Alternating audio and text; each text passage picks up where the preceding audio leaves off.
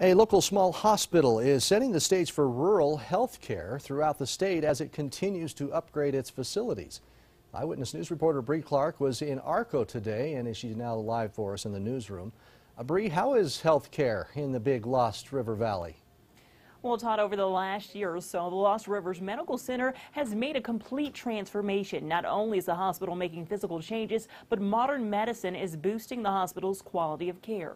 Susan Pearson has lived in Arco for decades, but it wasn't until a few months ago she was able to get her eyes checked without traveling out of town. We have a small community. There's not a lot of stores left as, as in most small towns, but it's great to have wonderful medical facilities. With the help of grants, donations, and federal funding, the medical center is equipped with a new x-ray imaging suite, a CT scanner, and laboratory. We've gone from being a sleepy little uh, band-aid station in the desert, if you will, to a real hospital uh, that provides critical care to a community that desperately needs access to affordable health care in our community. To continue affordable care, Lost Rivers has also implemented a government-mandated EMR system that uploads patient information to a secure cyber storage cloud. It is a significant step uh, that takes our hospital uh, from the Stone Age to, to the light age, I guess, or light speed age. The hospital also intends to build on its telemedical services. We have a, the, the state's only uh, telepharmacy